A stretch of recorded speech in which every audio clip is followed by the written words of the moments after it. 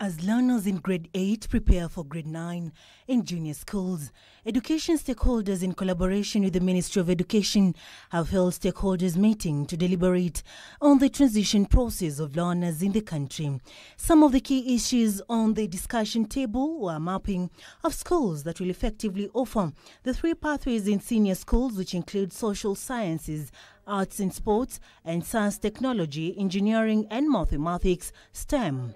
We have 11,000 senior schools, and one of the essence of this engagement is how do we map those particular schools to the pathways.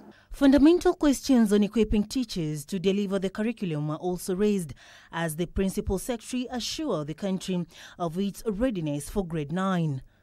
Within the next few days, we shall be rolling out the aspects of uh, classrooms for grade 9.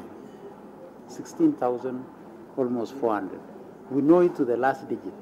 According to KICD Director Professor Charles Ong'ondo, the CBC curriculum has also ensured that learners with special needs are catered for. We have been developing curricula for special needs education either by adoption or by development. Reviews of the CBC curriculum is also ongoing.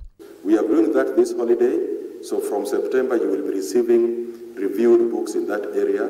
We shall do the same for grade 5 and grade 6. Serafina Robi for Prime Edition. Then